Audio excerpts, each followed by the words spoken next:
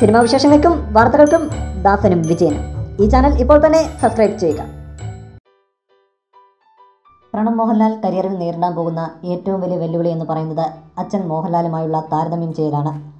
സ്വാഭാവികമായും പ്രണവിനെ മോഹൻലാലുമായി താരതമ്യം ചെയ്തുള്ള ചർച്ചകൾ ഉണ്ടാകും. കരിയറിന്റെ തുടക്കത്തിൽ ദുൽഖറും ഇത് നേരിട്ടിരുന്നു. പക്ഷേ മമ്മൂട്ടിയുടെ മാനറിസംസ് കടന്നു വരാതെ വളരെ വേഗം സ്വന്തമായി ഒരിടം മലയാളത്തിൽ നേടിയെടുക്കാൻ ദുൽഖറിന് സാധിച്ചു. ഇപ്പോൾ പ്രണബ് മോഹൻലാലിന്റെ അഭിനയത്തെ ഇത്തരത്തിൽ മോഹൻലാലുമായി താരതമ്യം ചെയ്യുന്നവരോട് ഇരുപത്തിയൊന്നാം നൂറ്റാണ്ട് എന്ന ചിത്രത്തിന്റെ സംവിധായകൻ അരുൺ ഗോപിക്കും ചിലത് പറയാനുണ്ട്. അരുൺ ഗോപിയുടെ വാക്കുകൾ ഇങ്ങനെ അതുപോലൊരു മണ്ടത്തരം വേറെ ഇല്ല എന്നാണ് പറയാനുള്ളത്. ഓരോ അഭിനേതാവിനും അവരുടേതായ രീതിയുണ്ട്. ലാലേട്ടൻ അഭിനയിക്കുന്നത് പ്രണവ് അഭിനയിച്ചാൽ അതിൽ എന്ത് വ്യത്യാസമാണുള്ളത്? ലാലേട്ടനെ പോലെ ലാലേട്ടന് മാത്രമേ അഭിനയിക്കാൻ സാധിക്കൂ. അപ്പുവിനെ പോലെ അപ്പുവിനും രണ്ട് വ്യക്തികളുടെ അഭിനയത്തെ താരതമ്യം ചെയ്യുന്നത് ശരിയല്ല. ഓരോ അഭിനേതാവും ശ്രമിക്കുന്നത് അവരുടേതായ ശൈലി ഉണ്ടാക്കിയെടുക്കാനാണ്. അരുൺ ഗോപി പറഞ്ഞു ഇരുപത്തിയൊന്നാം നൂറ്റാണ്ട് നാളെ തിയേറ്ററിലെത്തുകയാണ് പ്രണവിനെ സംബന്ധിച്ചിടത്തോളം ആദ്യ ചിത്രത്തിലെ ആദി എന്ന കഥാപാത്രത്തിൽ നിന്നും ഇരുപത്തിയൊന്നാം നൂറ്റാണ്ടിലേക്ക് എത്തുമ്പോൾ കുറച്ചും കൂടി വെല്ലുവിളി നിറഞ്ഞ കഥാപാത്രമായിരിക്കും ഇത്.